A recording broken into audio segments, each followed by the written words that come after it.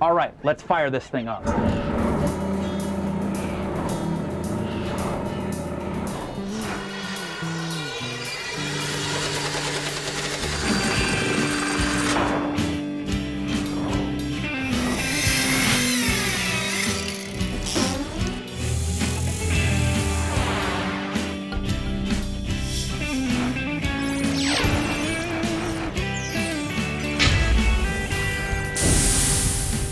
We have exactly three hours to haul out, but we have to be careful because we do not have insurance on the boat outside of home port, okay?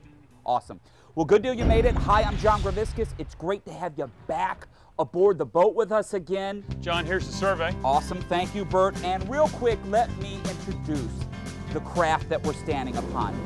This is our recently purchased 1980 57 foot Monterey custom sport fish. And we bought this craft for part of our charter boat division. And a little while back, we did an episode pertaining to the surveying of the boat. And that's what this is right here. This is a written report with what's wrong with this craft. And the reason we had it professionally surveyed, we had Chris Plisky on the program from a company down in Miami, Florida called World Yacht Survey, is we were trying to get a better price on the boat, and it really worked well. We saved tens upon tens of thousands of dollars off of the asking price. But a survey is actually a double-edged sword. You see, we cannot get insurance for this craft for our customers to take them out sport fishing until we address some of these issues. And the issue that we're really going to be concentrating on today is the running gear for the boat.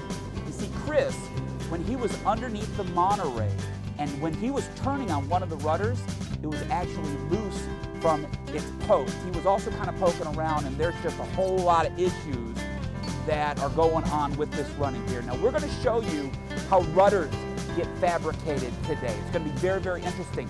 We're also going to be getting into the props for the vessel. You see, we had an issue with one of the engines not turning up enough RPMs. Well, we're going to be getting into something called prop scan, which is just going to be absolutely fantastic.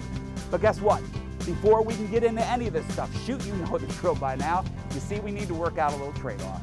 We've got to get all of you to spend the next 30 minutes with us as we're working right here along the beautiful water's edge. And then in exchange, with again the help of a few of my very knowledgeable friends in the marine industry, we're all going to be pooling together in order to do our very best to let you in on a few more ways to make your boat ship shape. Hey, Wink, let's talk about Ship Shape TV, America's favorite boat improvement show.